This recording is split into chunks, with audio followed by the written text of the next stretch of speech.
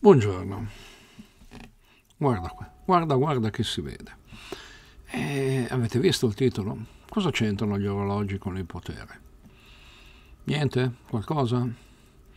Secondo me qualcosa contano. Sapete che abbiamo la macchina del tempo, quindi facciamo un piccolo viaggio. Eh,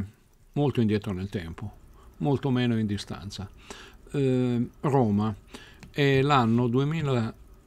anzi scusate, 263 a.C. Ehm, Magno Valerio Massimo eh, torna come eroe di guerra eh,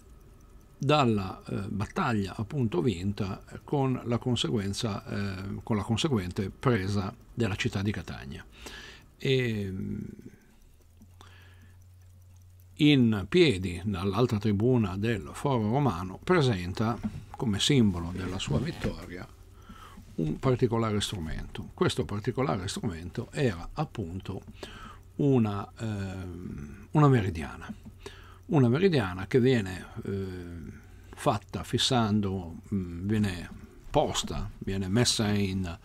eh, in, sede per così dire, fissando una colonna al centro del foro romano eh, che purtroppo non, non, si può più vedere. Per quanto appunto messa in sede eh, all'interno di un grosso blocco di marmo, sopra un grosso blocco di marmo, in cui era stata cesellata con cura una cavità eh, a forma di semisfera. Sopra la, la cavità appunto c'era il puntatore di bronzo, quello che viene chiamato gnomone, e sul marmo erano state scavate le linee su cui cadeva l'ombra eh, appunto di questo gnomone eh, che funzionava appunto da misuratore locale del tempo. Eh, chiaramente diceva l'ora della Sicilia, ma poco era importante questo livello di precisione, non ci si sbatteva COSC, non è COSC, pochi secondi al giorno, eccetera. Mm, non era molto impressionante come oggetto a seguito di una vittoria e la eh, felicità della gente di Roma era legata al fatto che erano eh, pazzi di gioia per la vittoria, non tanto per l'oggetto. Non sapevano quanto questo oggetto avrebbe cambiato la loro e non solo la loro vita. Perché, come spesso succede in questi casi, eh, non è tanto il primo episodio, è quello che segue. Infatti a questa eh, meridiana se ne aggiunsero parecchie altre eh, e furono appunto realizzate diverse decine di meridiane eh, su, tutta Roma, su, tutta Roma, eh, poste appunto in tutta Roma. Ogni volta eh, servivano appunto per regolare e controllare le attività quotidiane dei cittadini romani che sì, presto si inquietarono per l'intrusione di, nuova, di questo nuovo metodo per eh, la misurazione del tempo. Perché mentre prima eh, il tempo di riferimento era il tempo delle giornate, per cui il punto di riferimento era il sole, e adesso le ore venivano scandite in maniera precisa e potevano essere definite apertura di esercizi pubblici, tempi dedicati ai lavori eh, e di conseguenza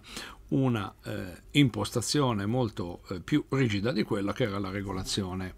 eh, della vita appunto dei romani. Eh, un noto drammaturgo diceva tra le altre cose ehm, una volta l'unica meridiana era il mio stomaco eh, mi diceva quando era ora di mangiare eh, sempre tranne quando non c'era nulla da mangiare ma adesso quello che, non, che, che, c'è non viene mangiato finché non te lo dice il sole. In realtà la città è così zeppa di meridiane che la maggior parte della gente si trascina consumata dalla fame perché non può mangiare appunto quando ha fame. Oramai, per quanto detestabile essere entrato in quest'ordine di idee, nel 164 a.C. Eh, venne sì rimpiazzata la meridiana di Valerio, ma eh, per essere sostituita da una ancora più precisa. Cinque anni più tardi eh, si aggiunse un nuovo cronometro eh, pubblico al foro, cioè un orologio idraulico, che segnava le ore pure di notte anziché solo di giorno. Quindi si governavano anche le ore di sonno dei romani, oltre a quelle eh, di veglia. Eh, possiamo dire da questo punto di vista che la meridiana al foro romano eh, fu la prima torre dell'orologio da città, eh, proprio perché successivamente questo avvenne in tutte le città, dapprima con la torre dei venti nella città di Atene, stiamo parlando di mille chilometri da Roma, eh, che fu costruita nel 140 a.C. Successivamente eh, si ebbero eh, questa che vedete alle mie spalle, se non sbaglio nel 56 a.C., la grande metropolitana di Augusto. Quindi eh, la cosa si era assolutamente affermata e eh, stabilizzata. Dunque, un viaggio, eh, in questo caso soltanto fisico, non nel tempo, che mi riprometto di fare e vi invito, organizziamo, vediamoci lì, eh, pago io l'aperitivo come sempre a un numero circoscritto di persone, naturalmente. E viaggio appunto nella città di Chioggia, Chioggia vicino a Venezia, come sapete, nella fattispecie per andare a vedere l'orologio che si, eh, che era,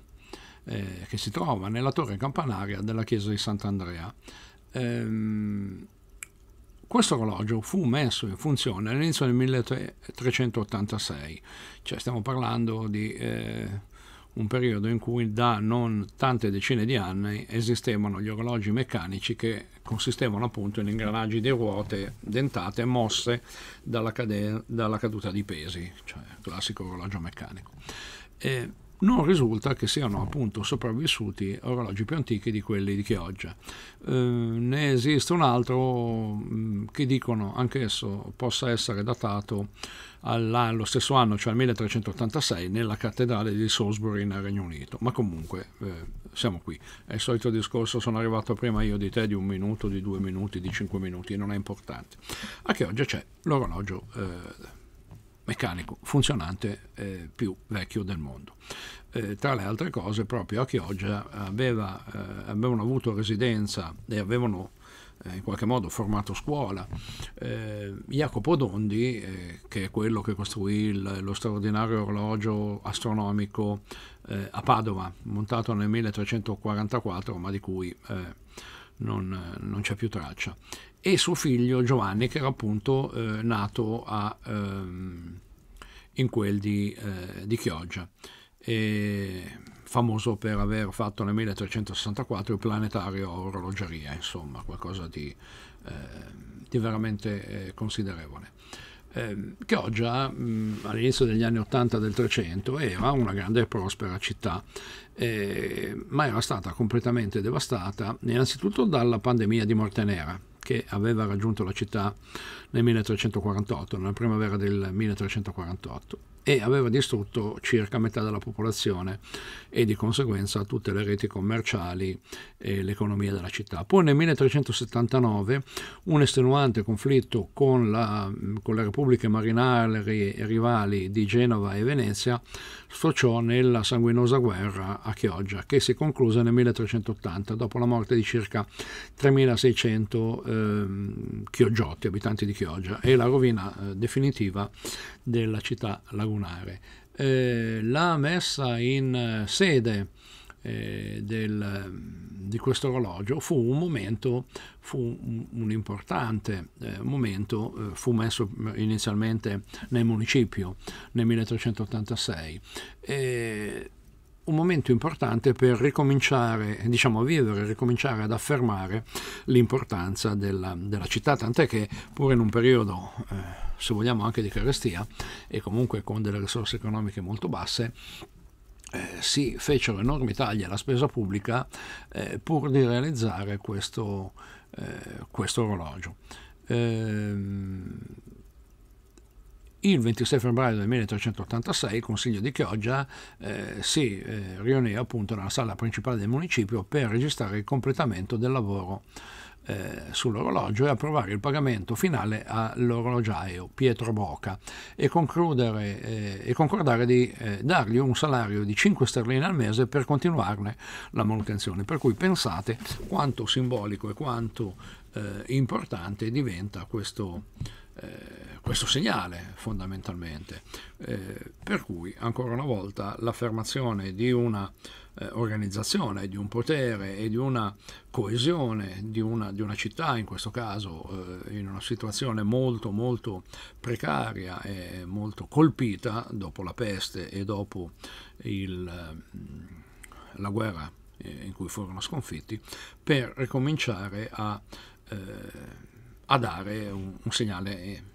in tal senso. Cioè. Eh, casi di questo tipo ne abbiamo, sono cose che sono successe spessissimo ehm, nel corso della storia ehm, ci furono eh, grandi eh, contestazioni quando eh, al Mayo College ehm, in, in, India fu realizzato un importante orologio che doveva essere il simbolo della, della proprietà da parte dell'Inghilterra, del, della, della conquista appunto dell'India. Eh, Sempre nella storia gli orologi non soltanto hanno organizzato la vita delle persone, ma sono state spessissimo il eh, sinonimo dell'affermazione di potere, sono state spessissimo un simbolo di eh, affermazione, di indicazione di eh, qual è la direzione verso cui guardare, verso cui sincronizzarsi per capire e per adeguarsi a quelle che sono le necessità di chi comanda.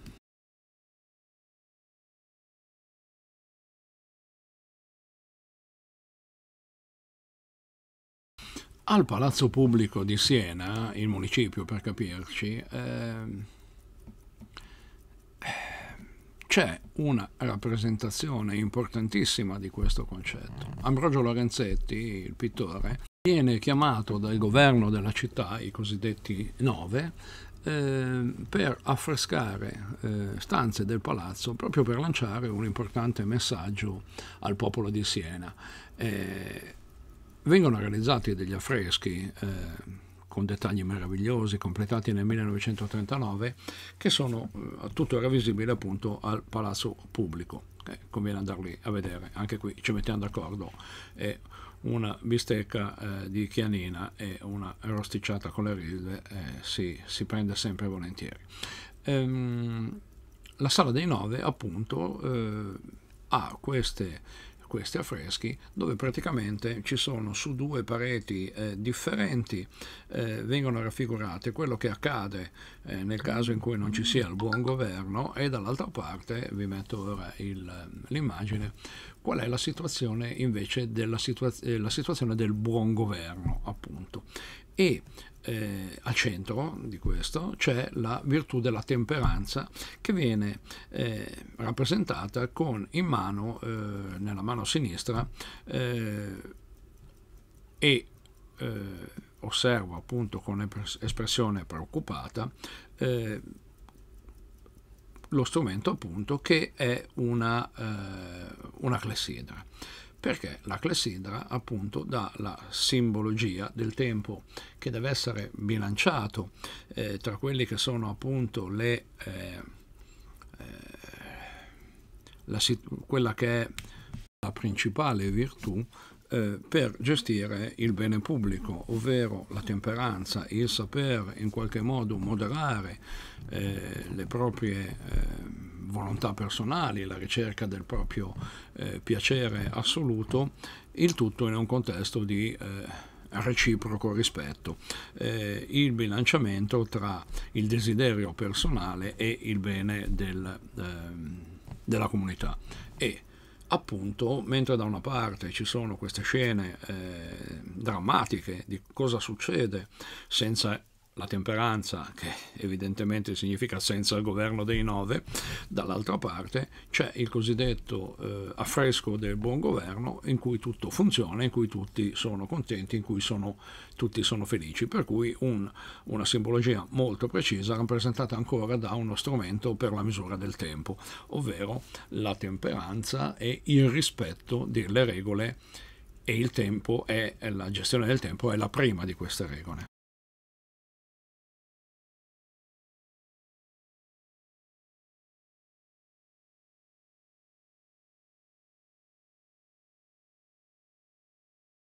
Abbiamo già parlato nel video di qualche giorno fa su John Bennett eh, di, di, quale a un certo punto fu eh, l'esigenza di eh, uniformare il, i diversi tempi. Voi sapete che precedentemente anche eh, con l'uso dei diversi orologi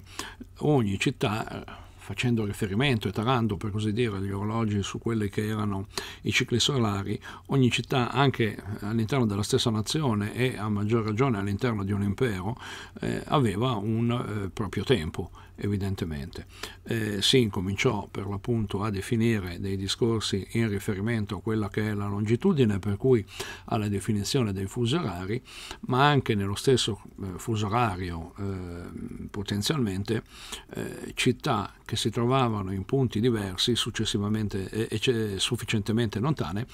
eh, avevano degli orari diversi e di conseguenza eh, il campanile della città 1 era eh, significativamente, anche di svariati minuti, diversi dal campanile della eh, città numero 2. Grande problema questo eh,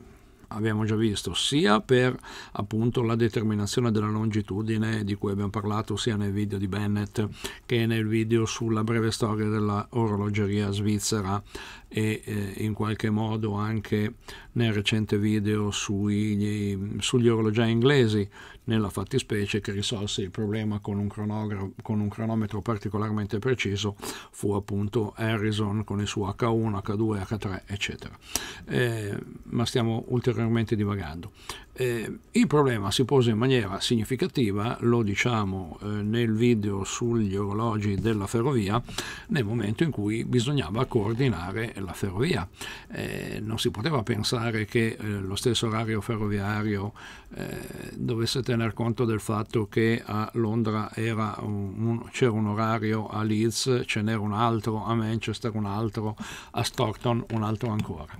ehm, appunto gli inglesi eh, che realizzarono eh, la prima ferrovia sulla linea Darlington-Stockton, se non ricordo male, ehm,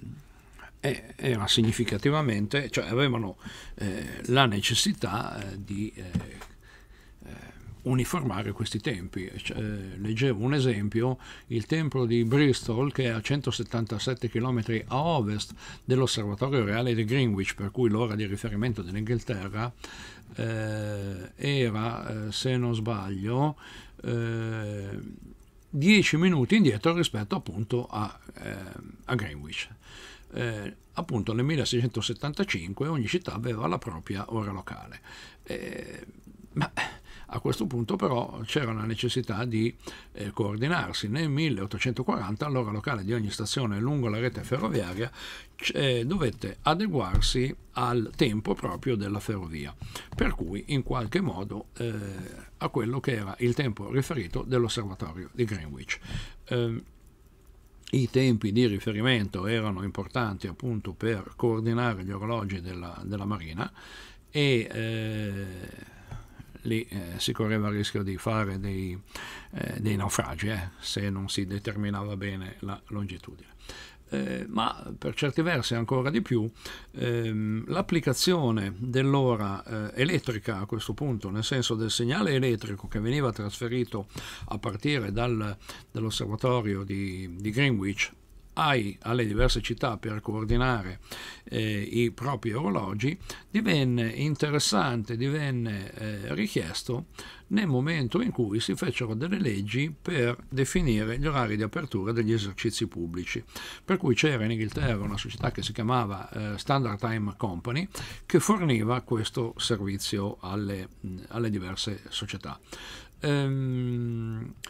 nel 1874 il Parlamento inglese stava dibattendo su come dovesse funzionare nella pratica il Licensing Act del 72,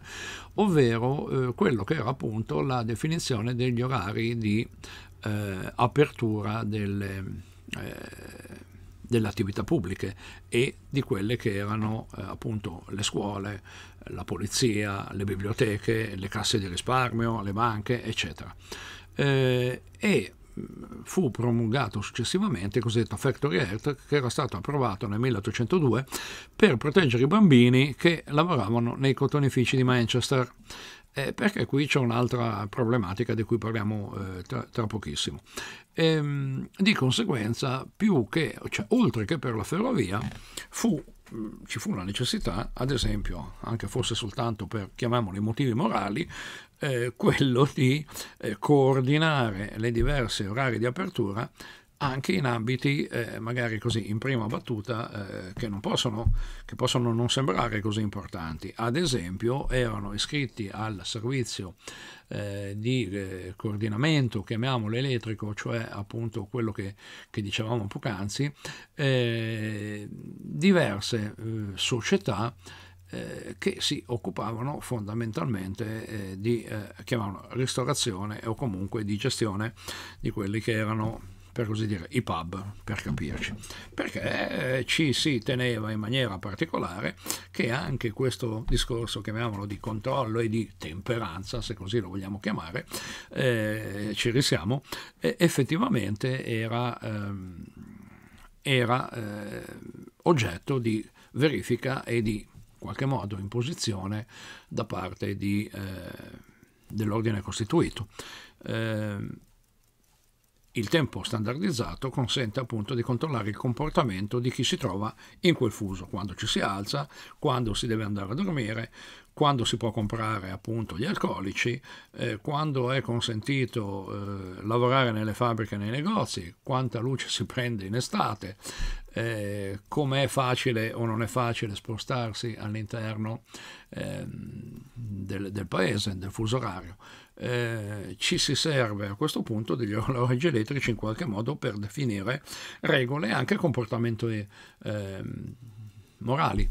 Eh, quando appunto uno prende un treno, quando si ritrova nell'orario di punta per andare a lavoro sulla sua macchina, in qualche modo si deve rendere conto che sta obbedendo a quelli che sono gli orologi elettrici, eh, adesso al tempo non più eh, definito dagli orologi elettrici, comunque al tempo definito convenzionalmente. Eh, ci si è da che mondo è mondo, da che sono stati inventati gli orologi, per secoli serviti del tempo per tenere eh, in riga le popolazioni. Eh, o no? Cioè, le popolazioni sono così contente di essere tenute in riga? Guardate quanto questo controllo assomiglia, con le giustissime cause, nessuno dice di no, ma al controllo che è stato esercitato in qualche modo, ce ne sarà stato motivo, non voglio discutere, eh, durante il periodo del lockdown.